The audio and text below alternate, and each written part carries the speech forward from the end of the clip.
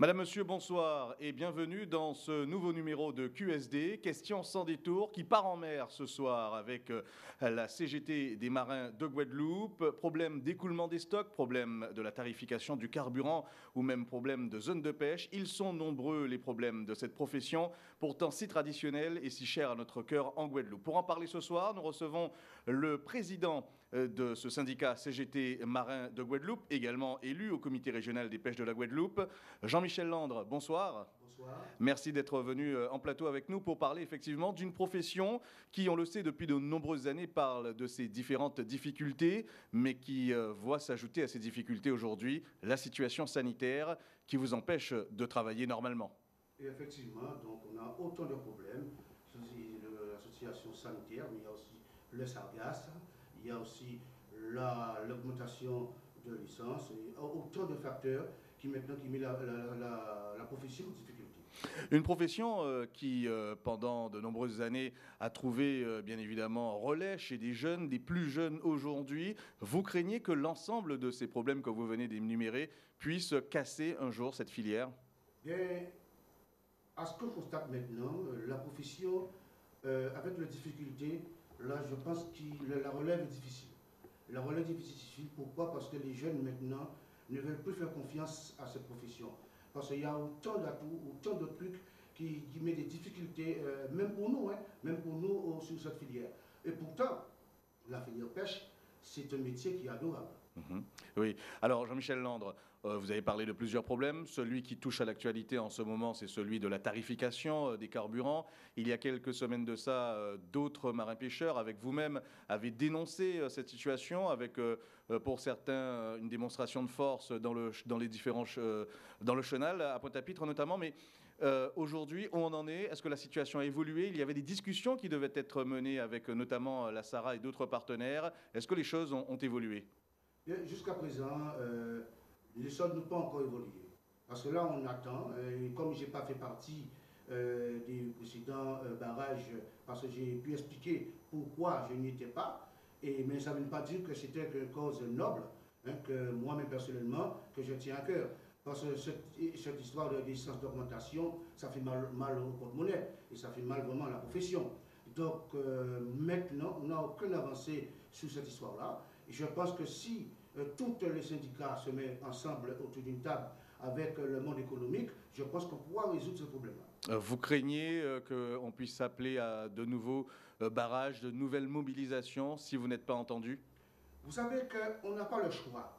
Et on a habitué les Guadeloupéens à toujours faire des démonstrations de force pour avoir quelque chose. Et moi, je trouve que ce n'est pas, pas du tout bien, c'est pas bien ça.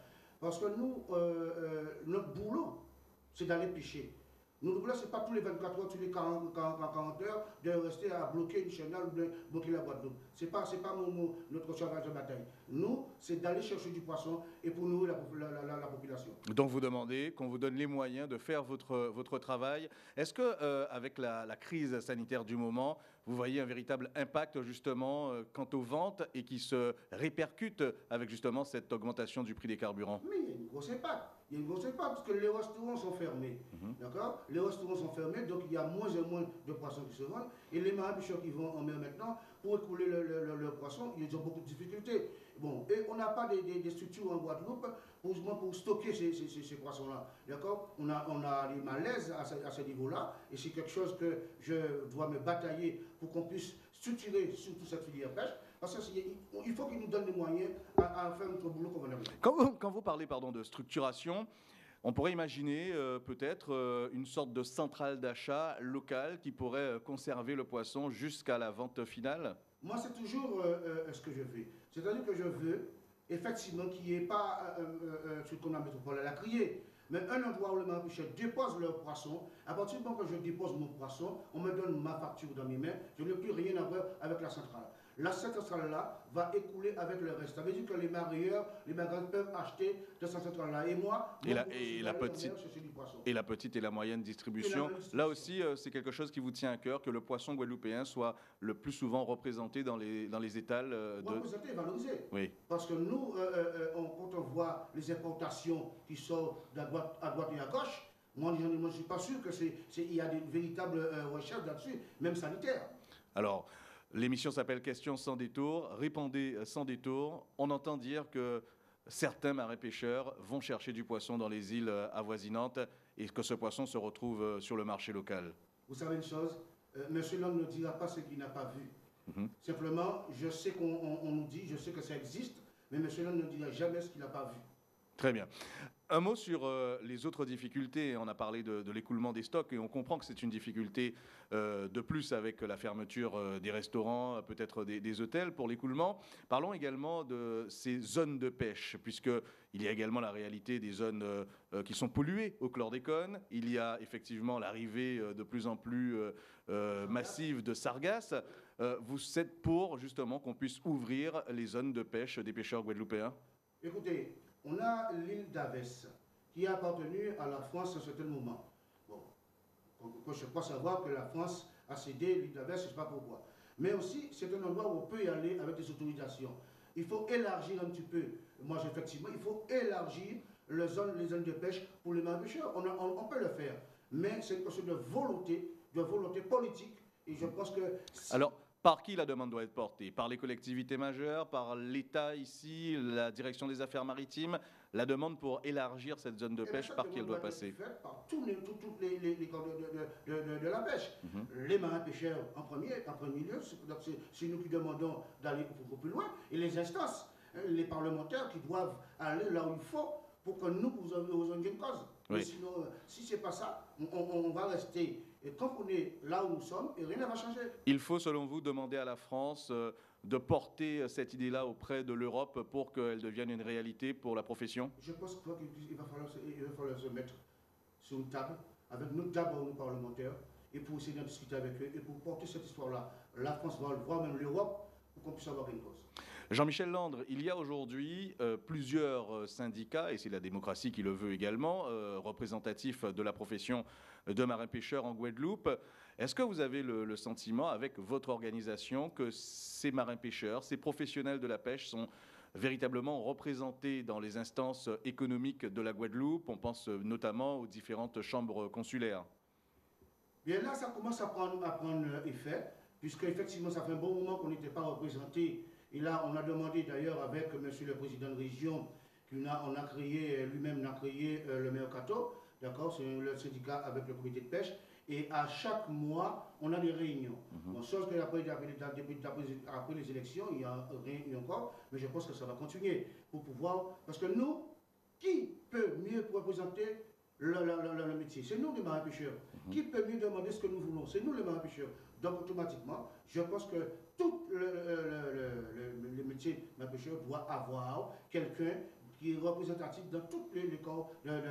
dans toutes les institutions, ça veut dire euh, CCI, Chambre des métiers. CCI, Chambre consulaire, euh, le, comité des pêches, euh, voire même, voire même au-delà. Très bien.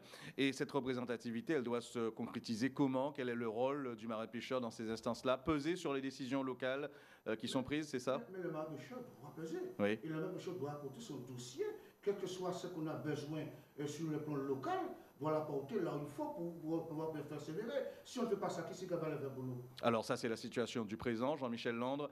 Si on se projetait euh, un petit peu plus loin en mer, dans l'avenir, pour organiser cette filière, euh, des schémas de formation peut-être, des schémas également d'agro-transformation, de transformation des produits de la mer? La pêche, ce n'est pas que, la mer. Autour de la pêche, il y a beaucoup de choses. Mhm. Et j'entends effectivement, parce qu'il n'y a pas longtemps que j'ai parlé avec quelqu'un au niveau de, ça, euh, la pêche peut être divisée. C'est-à-dire que ce n'est pas tous les gens qui veulent aller en mer qui doivent aller en mer. Parce que déjà, au niveau de, comment de l'étendue de l'exploitation, c'est déjà restreint. D'accord? Maintenant, autour de la pêche, il y a des casiers, il y a des filets, on peut en, faire des, stages, des formations pour les jeunes. Oui. tout ça, c'est autour de la pêche, on peut, on peut organiser ça. On pourrait organiser une véritable filière de métiers, des différents métiers de la pêche, parce qu'on voit, euh, quand on va sur les ports de pêche des différentes communes de Guadeloupe, qu'il y a des gens, euh, Mounka cailler poisson, Mounka livrer poisson, Mounka vendre poisson. Ça veut dire qu'on pourrait vraiment institutionnaliser euh, ce type de métier et créer une vraie filière pour nos jeunes Guadeloupéens? C'est normal. On peut le faire. Et comme ça, Vous y croyez Je crois. Je crois qu'on peut le faire. Et aussi, ça fera du bien, enlever un peu de chômeurs au, bord de l'eau. Très bien, mais qu'est-ce qu'il faudrait pour cela euh, Ça pourrait passer par euh, un schéma de formation, euh, ça existe déjà, il, y a- il existe des formations? Il y a des endroits où ça Ouais. existe, il y, a, il y a la formation existe, et on va aussi se mettre, on va pas, on va pas se, se- se- le, le poisson, on va aussi faire le, nous, nous, marins pêcheurs, organiser des séminaires, d'accord? Organiser des séminaires, organiser des réunions hein, pour faire comprendre aux instances qu'il faut le faire. Puisqu'on n'a pas, euh, euh, comment dire, on n'a pas euh, l'obligation, l'obligation d'obliger le jeune à faire ce qu'il ne veut pas faire. Mhm. Mais un jeune qui vient me voir pour dire, monsieur, là, je vais aller en mer, je lui dirai avant d'aller en mer, il y a de, beaucoup de choses à faire avant, avant- avant d'aller en mer. Oui. Donc je vais lui proposer plusieurs, euh, plusieurs choses et d'après ce que je vais lui proposer, je verrai ce que je peux proposer à ce jeune homme-là. Très bien. Un mot, euh, on parlait de, formation. Est-ce que euh, euh, ces jeunes qui arrivent justement attirés par ces métiers de la mer trouvent chez les professionnels que vous êtes eh des instances pour les orienter, pour les diriger? Parce que aujourd'hui, le- le- tous les métiers évoluent vers le digital, vers, la, la- vers Internet, la connexion. Euh, même aujourd'hui au niveau des relations avec euh, les instances qui dirigent votre profession. Est-ce que votre, vos mandants sont formés à cela ou est-ce que c'est quelque chose qui manque, que vous devez être plus accompagné euh, pour cela? Donc de toute façon, nous avons euh, aussi le comité de pêche Oui. hein, qui régule la, la pêche et aussi on peut, on peut se, se pencher aussi au niveau du comité de pêche, Mhm. mais il suffit de faire ce qu'il y a à faire pour permettre déjà au comité de se structurer convenablement, pour permettre à ces jeunes-là de se euh, euh, diriger vers le comité pour pouvoir euh, euh, euh, pallier à, à- à- à leurs activités. Vous dites que pour l'instant, ce comité n'est pas suffisamment structuré J'estime qu'il y a beaucoup de choses à faire. Il y a Comme- comme. Comme euh, préparer, préparer des gens pour, comment dirais-je, préparer des jeunes, d'accord, pour aller envoyer ces jeunes en formation. Il y a, il y a beaucoup de formations qui existent déjà Oui. et qui commencent, qui fonctionnent. Moi, je peux le dire qui fonctionnent. Qui envoient des jeunes à, à Blanchette faire des formations, hein, d'accord, pour pouvoir euh, les réinsérer. Mais il y a autant de choses à faire dans cette petite boîte de plat. Donc, euh, euh, comme je dis, je suis là en tant que représentant syndical. Et je vais mettre mon, mon- mon- ma pierre à l'édifice Mhm. pour essayer d'améliorer les choses. Jean-Michel Landre, un mot peut-être en direction de la population guadeloupéenne. On entend souvent, dans les moments de crise, euh, cet appel à la population de consommer local, de favoriser euh, l'achat euh, notamment de la pêche de, nos pêcheurs, du produit de la pêche locale. C'est un appel, c'est quelque chose qui doit être institutionnalisé aujourd'hui selon vous. Comment combattre eh bien, la dorade sur le port de pêche face aux dames de dorade en surgelé qui arrivent et qui inondent les magasins de Guadeloupe?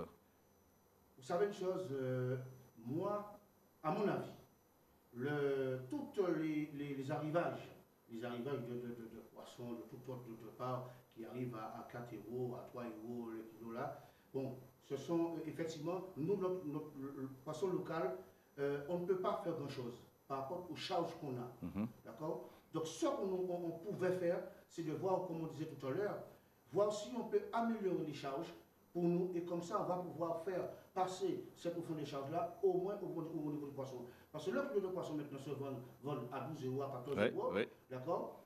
C'est lourd. Effectivement, c'est lourd pour une, une famille, Mhm. hein, puisqu'il y a plusieurs, plusieurs enfants. Ça, Oui, c'est vrai. Hein? Mais pour le moment, on peut, ne on peut pas faire grand-chose. Parce que les charges qui tombent sur, sur nous, ça pèse lourd. Et, et là, ça fait mal effectivement au porte-monnaie. Mais on va essayer de rétablir ces genres de situations-là et puis de travailler avec les instances euh, euh, euh, et, qui- sont sur le marché. Et on verra comment on va faire pour améliorer le prix du poisson. Organiser la filière pour que le poisson guadeloupéen se retrouve dans Se les retrouve assiettes dans les assiettes guadeloupéennes. Jean-Michel Malandre, le mot de la fin, la dernière question. euh, coup bouillon ou blaf? Ah, un bon petit blaf, il est bien, ça franchement. Hein. Un bon petit blaf, un petit, un petit jambes jaune. Eh bien, ce sera le mot de la fin. Merci à Jean-Michel Landre, qui était l'invité de ce Question sans détour. On a beaucoup parlé de la pêche, ça nous a mis euh, l'eau à la bouche. On vous souhaite euh, justement de rester en appétit avec euh, la suite des programmes sur ETV.